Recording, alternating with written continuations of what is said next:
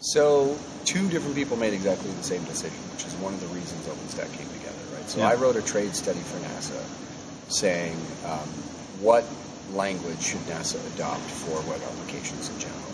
Yeah. Uh, at the time, they had some couple of thousand, somewhere around 3,000 different web apps written in 18 different languages and frameworks. And just from a security standpoint, it was a nightmare to maintain.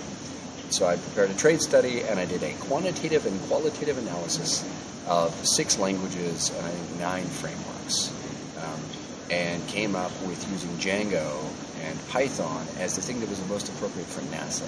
Now, this wasn't a general purpose, Python is the best language. Yeah. This was based on regional availability resources at what price, um, compatibility with NASA's key ecosystem partners, internal expertise, external expertise, security footprint, a bunch of pieces. Um, but yeah, we made a pretty clear decision that Python was the right route forward. Um, and this was very early on, so we were on really the most new stable version of Python, which was 2.6. Rackspace made the same decision, but I have no idea what their criteria Sure. was, except I think that they didn't want to do it in Ruby again Yeah. because they'd done Slicehost in Ruby and they were Sure. something new. Now what? Because Python 2x is being deprecated at some point. 3 is clearly the future, and there may or may not be some challenges. Uh, from where you sit, is is it a challenge? And So I'm also a member of the Python Software Foundation, as are a number Hmm. of uh, OpenStack core developers and a number of board members. Yeah. Um, and that puts us in a very odd position because we now have uh, insight into where the Python community is trying to go in the transition to three, um, and yet we're keenly aware of the challenges of moving the OpenStack code base in that direction. I mean, OpenStack is 1.2 quarter, sorry, one one and a quarter million lines of code yeah. written in about two years. Um, so the logistics of getting people to write new code in Python 3 would not be that bad, but transforming the existing code to be 3.0 compliant is going to be tricky, particularly because we just went through an internationalization and localization effort, Yeah. right? So, which is really where Python 3 is very different. Sure. from 2.6 and 2.7.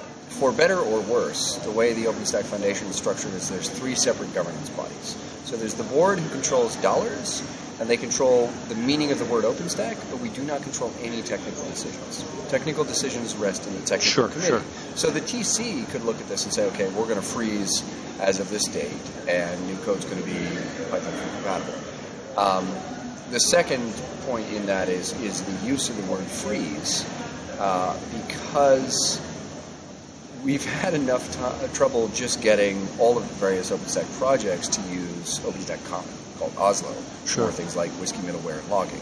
So, getting to a point where we would all agree on, I mean, we don't even use necessarily the same WSGI framework in a lot of these projects. It's- Yeah. It was the Twisted versus Eventlet Wars Yeah, yeah. of 2011. Um, so getting to a point where we'll all agree and say, okay, now is an okay time to freeze, that would be really hard because the community is still very much in this uh, new features all the time kind of ramp. Yeah. So I think there are a couple of projects that are now have hit the state of maturity where they'd be willing to say, okay, now actually we have the time and the breathing room to focus on revamps, um, shifts in architecture, improving documentation, improving runtime environments, etc. Um, but I doubt we could do it across all of them. Um, should, uh, just from your own personal perspective, should OpenStack move to Python 3, or can it and should it stay on a Python 2x base for the foreseeable future? New projects should be written in Python 3. No. Um, the work to port existing projects to Python 3 uh, should be undertaken, uh, but I think it should be timed to happen at the point at which each of those projects become mature enough that the majority of their community can focus on that effort. Yeah. You know, that it's not in conflict with ongoing development. So I think Swift is already there. I think uh, Glance is probably already there. I think uh, Keystone may end up being rewritten again. It could be rewritten in Python 3. Yeah. You know. um, Nova, I don't think we could slow down enough right now. But we're getting there. Cinder got refactored out. Nova Yeah. Network got refactored out. So Nova itself is becoming a little more boring, but I think we're probably still another release away from having the time to do it. Got it. Good.